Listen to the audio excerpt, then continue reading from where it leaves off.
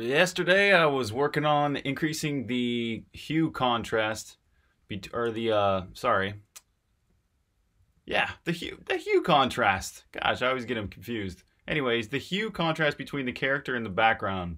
So I made this, most of the background colors are um, now based on the opposite of the color of the team color of the player. So the player's team color right now is sort of this aqua green. And uh, the contrasting ground tiles here are sort of a pinkish hue.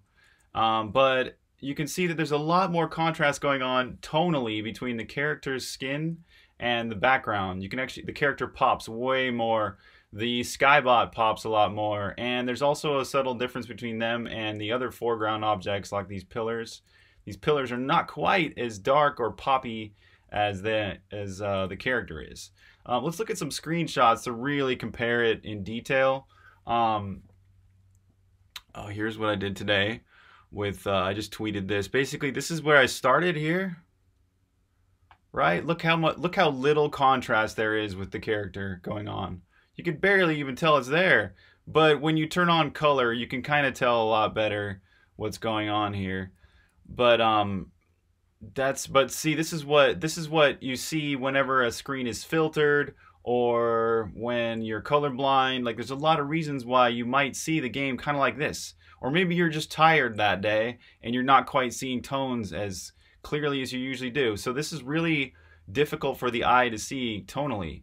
Um, but then we move over to this with a lot of tweaks. So we have the character's skin being a lot darker. There's a darker uh, color uh, along the edge of the blade too.